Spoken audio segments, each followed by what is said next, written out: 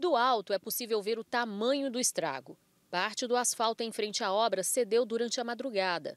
Moradores de prédios vizinhos acordaram assustados. Foi um barulho muito grande, às duas horas da manhã, né, o prédio todo acordou, os moradores, um estrondo, assim. Aí, 15 minutos depois, a André chamou, ó, todo mundo vai ter que evacuar o prédio, porque o buraco é grande. Foi um barulho é, muito grande. Na hora a gente pegou os cachorros, acordei ela, a gente já desceu, tinha alguns moradores do, do prédio vizinho já lá na rua, a gente pegou os cachorros e falou, a gente não fica aqui, não pega nada, só pega o que é vida e desce. O corpo de bombeiros decidiu evacuar este prédio que fica bem ao lado, ainda de madrugada. Foi realmente entrar, bater porta por porta e certificar que todos é, estavam fora e os que não estavam auxiliar na evacuação desse, desses moradores. Horas depois, bombeiros e engenheiros engenheiros decidiram evacuar um segundo prédio que fica num terreno próximo.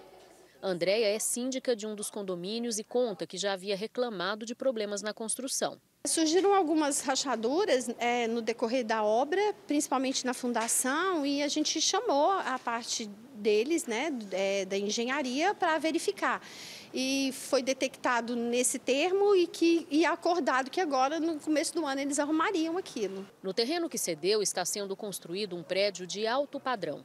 A localização no setor marista tem o metro quadrado mais caro de Goiânia. Apesar da dimensão dos estragos, ninguém ficou ferido. Técnicos seguem avaliando o incidente para determinar as causas e reparar os danos o mais rápido possível. Acredito que eles vão dar todo o suporte necessário. Equipes da Defesa Civil de Goiânia inspecionaram prédios vizinhos. Foram encontradas rachaduras que surgiram depois do deslizamento.